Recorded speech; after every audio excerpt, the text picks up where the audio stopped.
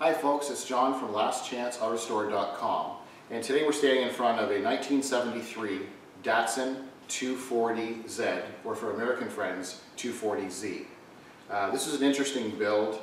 Uh, we had a lot of fun with it and we basically just want to share with you some of the features, upgrades, and changes we've made to this car.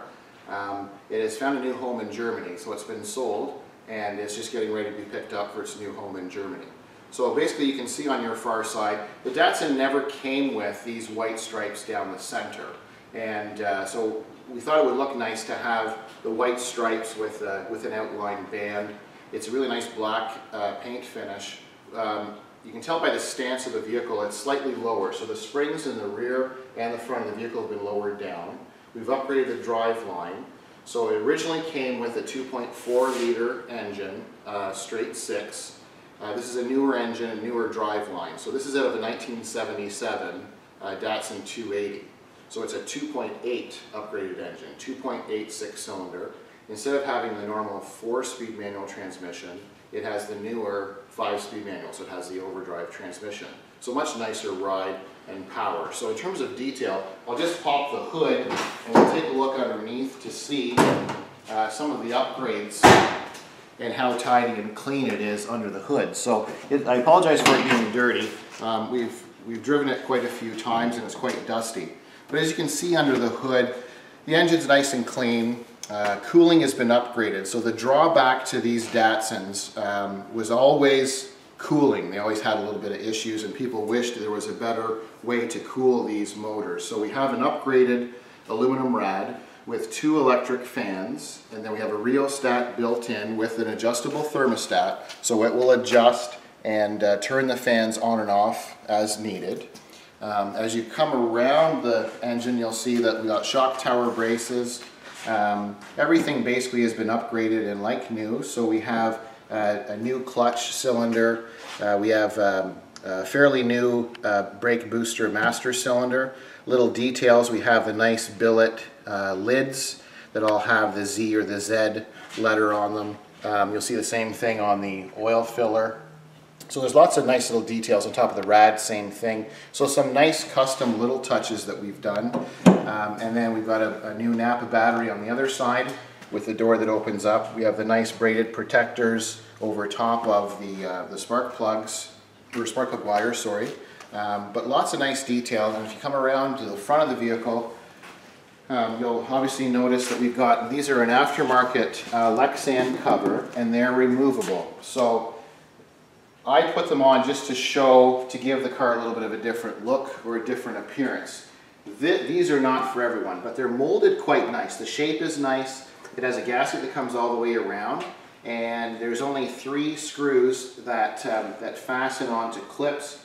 The clips on the inside of the original surround are a two-way tape. So they're removable. So if you don't like this Lexan look or this cover and want the more stock look, um, this can be changed very easily. So we just did that just to show a little bit different appearance. You'll notice below that we have the aftermarket spoiler, so it has the chin spoiler that goes across, and then we have upgraded driving lights, which are high intensity LED um, lights, and we have a switch in the console for that.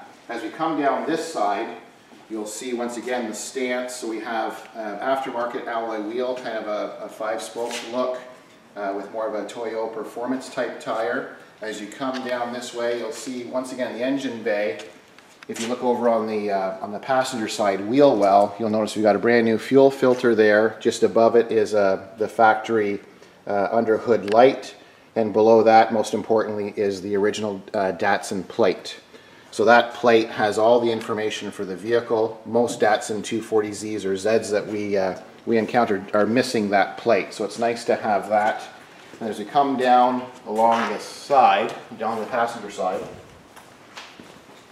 once again you'll see the stance and the, uh, so the body is, uh, basically we haven't modified anything. A lot of people will change things like the flares, the lines of the quarter panel and so on, but it's such a beautiful body line that this was left as original. And you can see once again with the stance just a little bit lower, so the gap between uh, the top of the tire, there's lots of clearance there, but it just gives it a nicer stance. And when we look on the inside, Um, the whole interior has been redone. So we have new door panels on the side here. We have all um, new hardware, armrest, handle and bezels. Uh, when you see inside the door jambs, you'll notice everything is all nice and clean. This has all been sanded and, and done. Uh, this is all new weather stripping coming all the way across. Uh, what we've done is, these are original 73 seats, but we've had them redone. So they're a, a leather and suede with some nice accent white stitching. You notice the 240Z or 240Z embroidery. Uh, we have hats to match. So basically, uh, we've taken the original seat, added a little bit of extra foam in the sides, and have suede on the inside with white stitching, which is a nice feature. And then we've got the, the new carpeting and an upgraded stereo. And uh, when we come around the other side, we'll see the steering wheel and so on. We'll see we got new uh, insignias here. We come along the side, we've kept the original look chrome bumper. Most people that will do a, a 240 build um, these are, are, generally badly pitted and rusted, so most times what they'll do is they will paint this, do a more of a monochrome look, which um, I prefer, just personally, I prefer to have the chrome. We've updated or upgraded this, the exhaust system. We have a, a, tuned exhaust and muffler, and then we've changed the tailpipe uh, to give it a little more of an accent. And as we come inside the hatch, uh, just a little bit of detail underneath here. You'll see in the, uh, the suspension on, on both sides, instead of having that exposed metal uh, with the top of the struts where the covers are, that's all been upholstered and stitched to match. And then we have the bar, the reinforcement bar, uh, bar going across, uh, which just gives it some extra stability and support. And then the mat, uh, we had the, the Z or Z um, embroidered in the, in the back of the carpet. And then um, We've got an extra fuel filter and oil filter that we always have here for each, uh, each vehicle that we do tuning and that sort of thing. So that'll be going with the car uh, to Germany. And then as we come down this side, has a manual antenna that will go all the way down. And then we come into the driver's side. A um, couple of interesting things. You've got a really nice uh, original wood steering wheel, uh, authentic Datsun wheel. Um, if you come around You've, got just an aftermarket armrest with cup holders.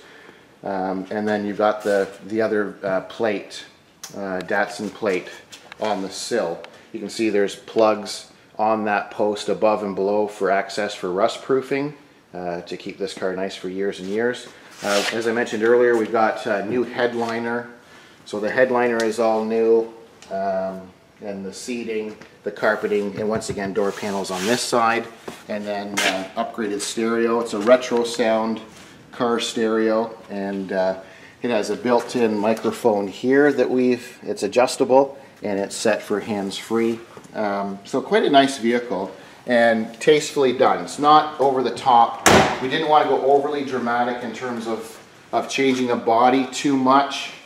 And uh, so basically it's a, it's a subtle a subtle upgrade in terms of engine, suspension, braking, and that sort of thing.